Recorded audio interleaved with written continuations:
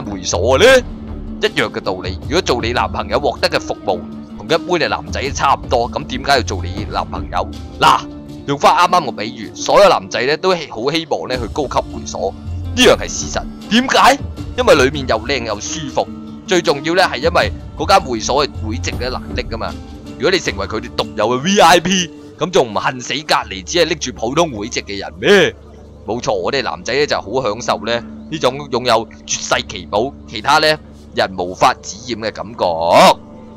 但如果一間高級會所嘅會籍咧太易拎啦，而且同一個 VIP 會籍嘅啊人所享嘅服務差唔多咧，自自然然呢間高級會所嘅身價跌好多，同時都要拎住覺得咧令到啲拎住 VIP 會籍嘅人係傻仔。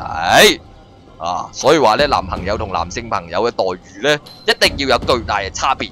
如果唔係咧，傷人心者咧，自己亦都心傷。希望咧，你明白我講嘅啲咩？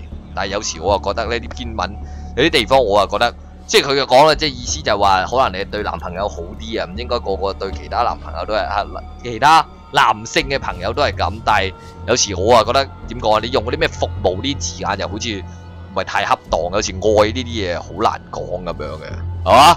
咁啊，差唔多啦。我哋明天我一次客信條四就完全係好啱我，因為我玩 Hitman 已經係太難玩啦，已經玩呢啲就冇咩難度，係嘛？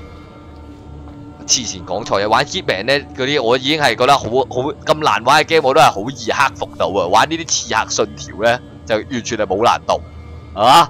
都差唔多啦。